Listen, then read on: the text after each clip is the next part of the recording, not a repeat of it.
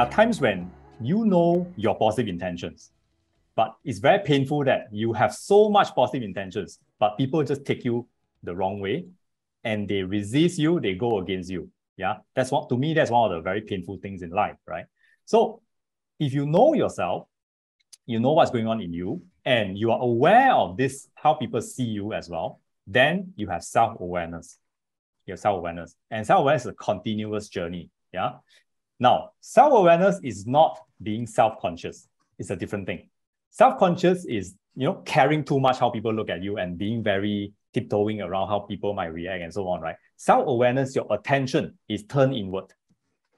You are aware, you are clear, and you know what is going on within you, and you know how other people are responding to you, and you're aware of that. That's self-awareness. Now, the next question I have for you is, what's the best version of you like? Have you reached the best version of you?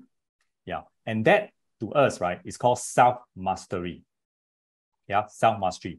And self-mastery is to be able to narrow this gap of difference between what's inside you and how other people are experiencing you. Yeah, you might think you are right. Other people are also right. And they will resist you if you are not able to narrow that gap.